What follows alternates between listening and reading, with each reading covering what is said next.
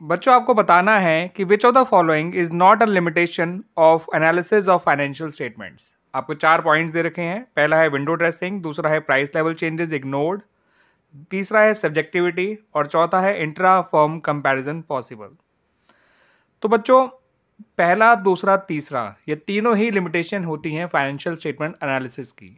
Window dressing रहा करती है फाइनेंशियल स्टेटमेंट्स में।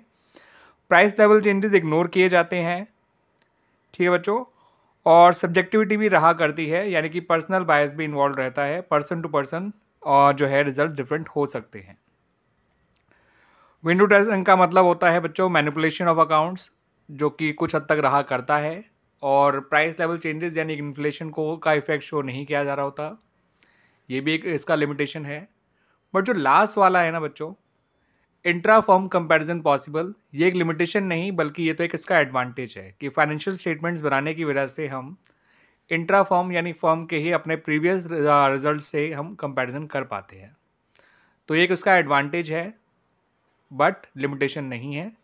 तो ए बी सी तीनों लिमिटेशंस हैं but the D point is an advantage not a limitation clear बच्चों? अब इस क्वेश्चन को देख लीजिए बच्चों। Which of the following is not an objective of analysis of financial statements तो फाइनेंशियल स्टेटमेंट एनालिसिस के जो कुछ ऑब्जेक्टिव हुआ करते हैं, इनमें से एक पॉइंट ऐसा है जो उनमें से उसका ऑब्जेक्टिव नहीं है। पहला है टू जज the financial health of the firm ये तो ऑब्जेक्टिव है बच्चों। फाइनेंशियल स्टेटमेंट एनालाइज करके मेनली यही जाना जाता है कि बिज़नेस की फाइनेंशियल हेल्थ कैसी है फाइनेंशियल पोजीशन कैसी है। ठीक है बच्चों? तो ये तो ऑब्जेक्टिव है। टू श्योर टू जज the short term and long term liquidity position of the firm yes ये भी है क्योंकि फर्म की शॉर्ट टर्म और long term liquidity position solvency position को जज किया जाता है फाइनेंशियल स्टेटमेंट एनालिसिस के थ्रू और तीसरा टू जज the reason for the change in profitability of the firm कि फर्म की प्रॉफिटेबिलिटी में क्यों चेंजेस आ रहे हैं वो बढ़ क्यों रहा है या कम क्यों हो रही है प्रॉफिटेबिलिटी उसके पीछे के भी रीजंस भी जज किए जाते हैं पता किए जाते हैं तो ये भी एक ऑब्जेक्टिव है ऑफ़ फाइनेंशियल स्टेटमेंट एनालिसिस लेकिन जो लास्ट पॉइंट है, वो एक ऑब्जेक्टिव नहीं होता फाइनेंशियल स्टेटमेंट एनालिसिस का। ये ऑब्जेक्टिव ऑफ़ अकाउंटिंग तो हो सकता है, ये ऑब्जेक्टिव ऑफ़ अकाउंटिंग स्टैंडर्ड्स तो हो सकता है but objective of financial statement analysis नहीं हो सकता है।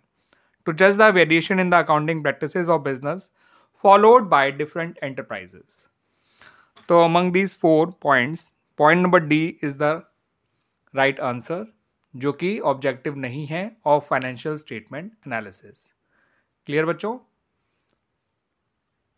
कैश फ्लो स्टेटमेंट बनाते समय इनमें से कौन सी स्टेटमेंट ऐसी है या कौन सी ट्रांजैक्शन ऐसी है जो कि cash flow from investing activities को अफेक्ट करेगी? ठीक है बच्चों? तो याद रखिएगा cash flow from investing activities को अफेक्ट करने वाली ट्रांजैक्शन को आपको आइडेंटिफाई करना हो। चाहे वो उसको इंक्रीज़ कर रही हो इन्वेस्टिंग को, चाहे डिक्रीज़ कर रही हो, चाहे इनफ्लो या आउटफ्लो आपको बताना है। ठीक है बच्चों? तो पहला है लॉस और issue of debentures return of from securities premium तो जो loss on issue of debentures है, अगर आप इसे सिक्योरिटीज प्रीमियम से राइट ऑफ़ करेंगे तो ये एक नॉन कैश ट्रांजेक्शन है। और कोई भी non cash transaction cash flow from investing क्या कैश फ्लो स्टेटमेंट में किसी भी एक्टिविटीज़ के केस में इनफ्लो या आउटफ्लो है ही नहीं वो। ठीक है बच्चों? तो ये तो बिल्कुल नहीं है बच्चों। अगला है गुडविल परचेज। तो जो परचेज ऑफ़ गुडविल होती है, उसे एक purchase of non current asset के तौर पर ही देखा जाता है। ठीक है बच्चों? चाहे आप टेंजेबल एसेट परचेज करें, चाहे इंटेंजेबल एसेट परचेज करें, इसका संबंध आपकी एसेट से परचेज से है एसेट की परचेज से है। जिसको हम कैश फ्लो फॉर इन्वेस्टिंग में एज एन आउटफ्लो रिकॉर्ड करेंगे क्योंकि ऐसा करने से कैश का कैश uh, डिक्रीज हुआ होगा। तो गुडविल परचेज है जो अफेक्ट करती है cash flow from investing activities को। बाकी तीसरा और चौथा क्यों नहीं है वो भी डिस्कस कर लेते हैं।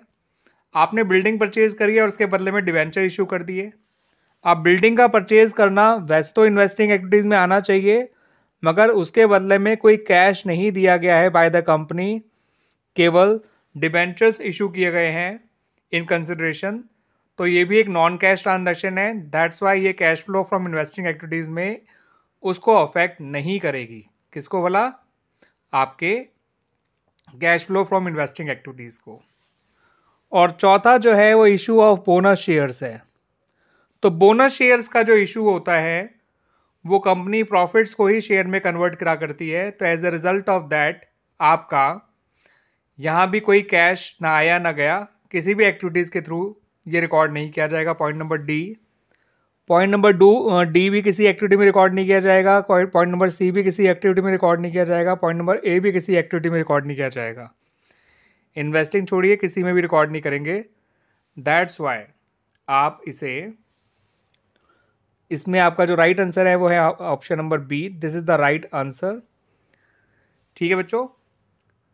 वैसे ये जो बोनस शेयर है इसे आप बाकी प्रॉफिट में ऐड कर सकते हैं वापस क्योंकि प्रॉफिट से ही ये बोनस शेयर का वो करा गया होगा। आ, वो भी मत लीजिएगा मतलब है ही नहीं है ठीक है? बोनस शेयर भी कंपनी जो है वो सिक्योरिटीज प्रीमियम या रिज़र्व को कैपिटलाइज करके दिया करती है तो वो भी आपका प्रॉफिट से नहीं दिया गया होगा। तो ये तीनों किसी भी एक्टिविटी में आने ही नहीं चाहिए। बाकी केवल B is the right answer clear बच्चों? Option B is the right answer